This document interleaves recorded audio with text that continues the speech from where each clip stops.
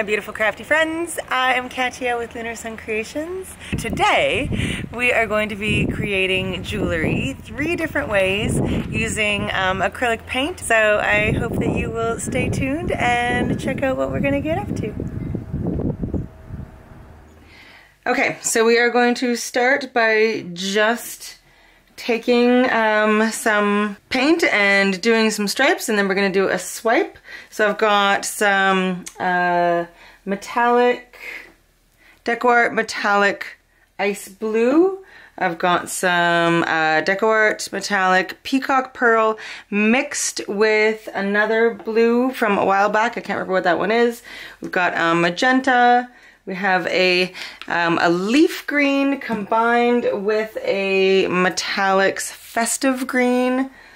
And I've got some DecoArt Glorious Gold.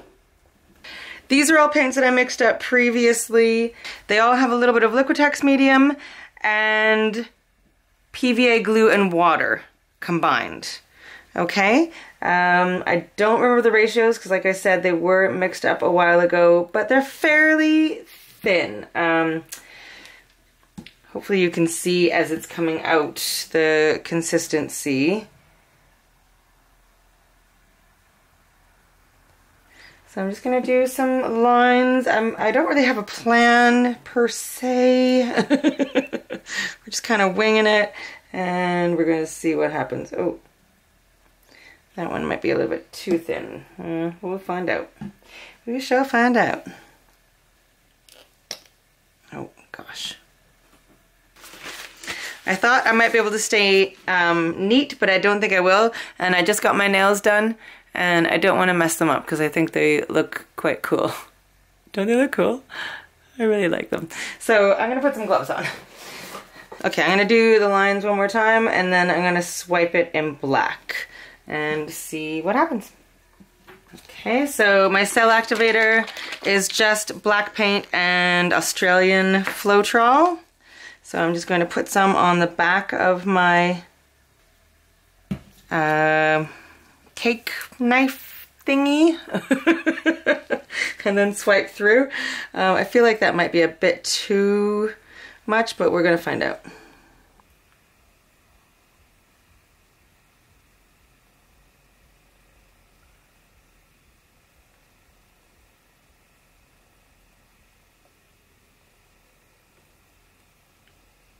Lost the rest of the colors, but those cells right there are absolutely phenomenal.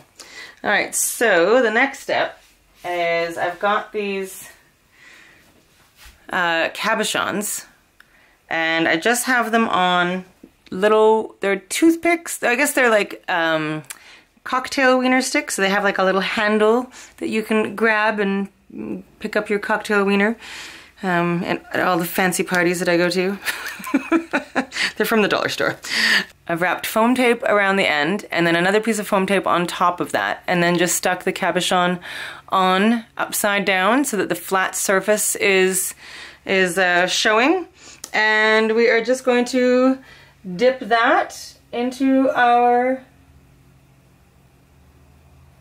paint. I'm gonna let it like sit for a second and then pick it up very slowly. Okay, and there it is. Hopefully it looks like, hopefully the cells are on the other side. And then I've just got them all in this like foam, it's like a knee pad, you know, like you kneel on to keep your knees from being sore or whatever. So I'm just gonna stick it back onto that to dry. I think I'm gonna do these tiny little earrings in that as well. Hmm.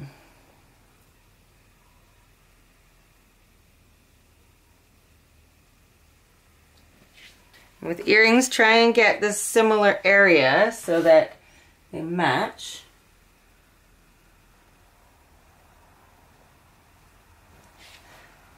Okay, I'm gonna let those dry. I'm gonna show you all of these at the end. I would like to get some of the teal. Let's just go up here and see what happens if we get this one little weird dot. I think that one's gonna be quite cool actually. It kind of has like stripes and the cells. Okay, this one, should we go for a lines? I'm gonna go for the cells. Okay, sorry, my head might have gotten in the way for that one. Okay, so here's what the back sides look like at the moment. Um, I'm gonna set them aside to dry. They'll take a couple days to dry, but as soon as they are dry, I will show you all of them. Okay, so the second way to create jewelry is to make beads out of your acrylic skins. So this was a skin that was literally just left over from a huge day of painting and it wasn't intended to be anything. It was literally just all the leftover paint, so it, it doesn't look awesome. However, when it's all rolled up into a bead, it looks pretty darn cool. So, um, did you know you could cut your acrylic paint skins with your paper trimmer? You can indeed. So just all you have to do is uh, be sure to start the cut in the like the middle of the skin and then go up and then go down and that way it will make a clean cut without kind of crinkling up your skin and now you can cut these by hand certainly Definitely nothing wrong with that. But it's much easier and more precise for sure with a trimmer. So I'm just cutting a whole bunch of strips um, at a half inch, but I'm not exactly sure how long these are. It was just to, just kind of how big the piece ended up being. And I'm just gonna cut a whole bunch. I might do a few a little bit longer, a few shorter, or wider and thinner, I mean, just to make different sized beads. I'm just going to do this last one and then I'll show you. And then I've just got a knitting needle. You can use a uh, barbecue skewer, you can use like whatever it is you have that is round. I mean, that's how big the hole of the bead will be. So you can go with something smaller. And I'm just literally going to wrap it around. Try to keep everything centered as best you can. And it will kind of stick to itself.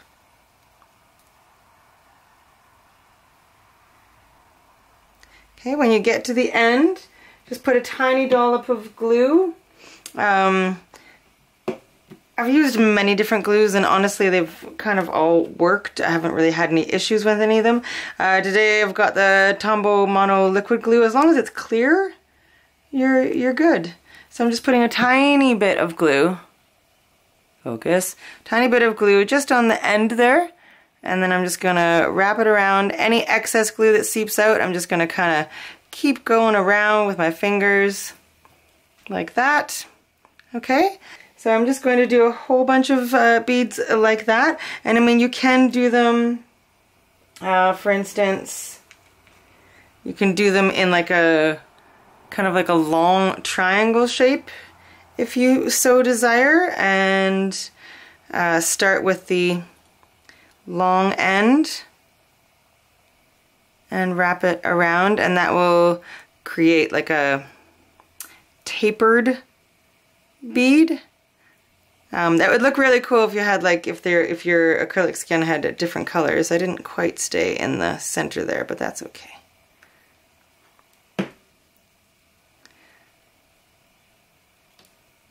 Alright, so yeah, let me take it off the thing here, I can show you better. So it's kind of like got like a tapered look to it. Alright, I kind of prefer the um, just the cylinder look myself. Once I have a whole bunch, I'll be using this uh, Deco Art triple thick glaze on it. And once you put a few layers of that on, uh, it looks fantastic. It's nice and glossy. Um, you could also put resin over top of them if you want to go that route. That would work just as well.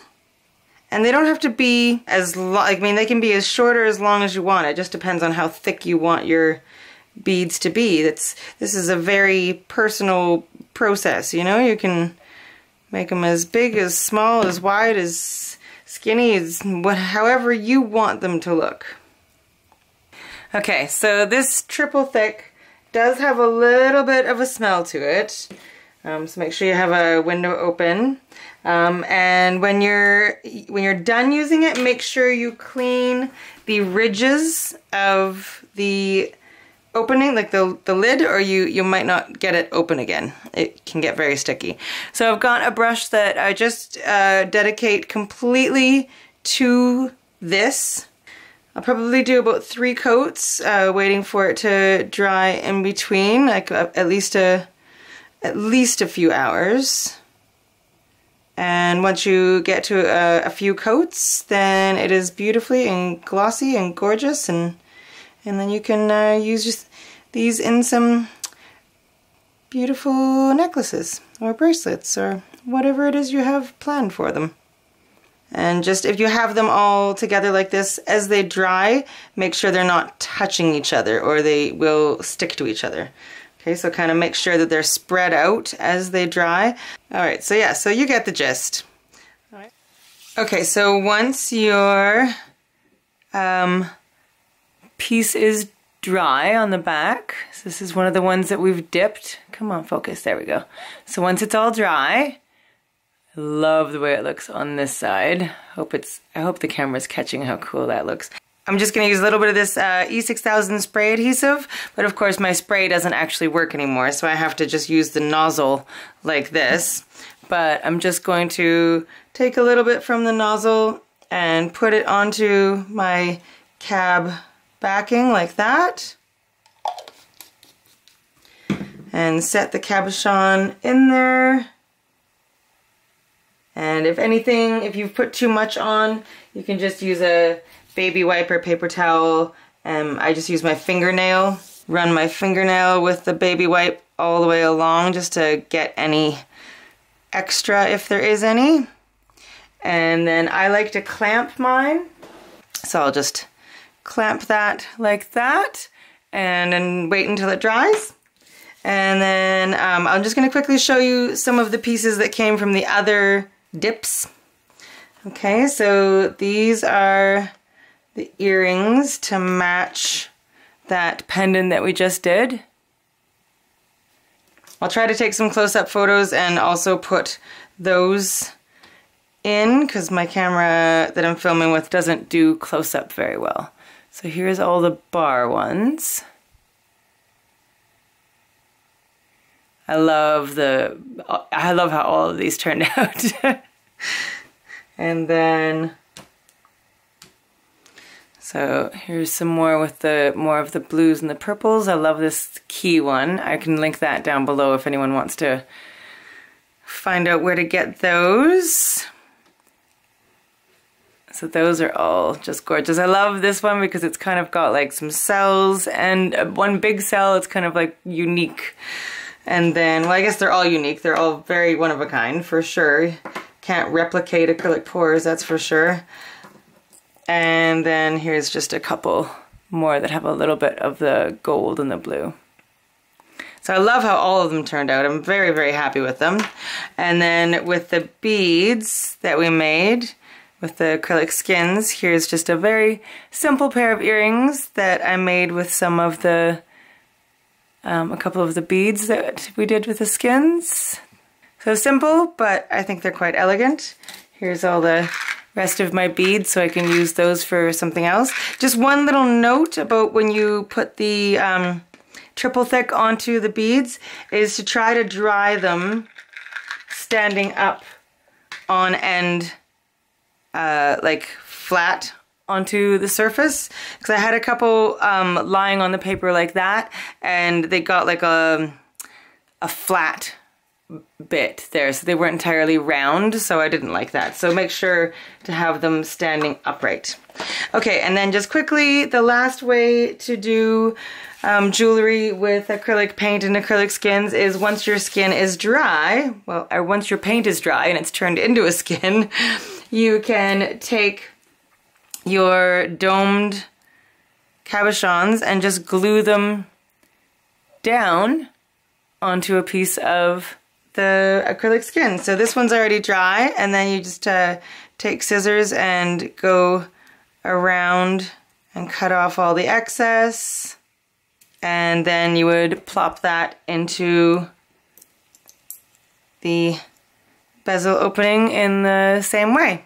So I'll just show you, I've got, this is one of the skins um, that I did in the same session as all of that. It's pretty crazy, but I love this one part right here. And I think that'd be perfect for one of the bars. So again, I'm just gonna use some of the E6000, uh, put it directly onto the back side of my domed piece, and then put it where I want it. And I will just let that dry and it will dry nice and clear. I shouldn't have moved that, but I want to put it somewhere else because I have other stuff to do here. so just gonna let that dry and it will dry clear and then I'll just cut around it and do the same process. So I really hope that you enjoyed uh, watching me do this process and I hope you will give this a, a try. If you did enjoy this video, please give that uh, like button a little boop and uh, maybe the subscribe button while you're at it as well. I've uh, got quite a few videos coming up. Um, I've been really inspired with jewelry again lately. That's how I started my business and um, I've been really wanting to do more of it. So you're probably going to see a few uh, jewelry videos over the next uh, while. I'll still be doing the albums and the cards and all that, don't worry, but I'm just feeling the need to, you know, explore a little bit. Broaden the horizons. Most of these pendants um, will be in my Etsy shop very, very soon. I'm going to be um, starting to sell jewelry in my Etsy shop, so I hope you will go and check that out. And as always, sending you huge hugs and lots of love. And I will see you again very soon. All right. Take care. Bye.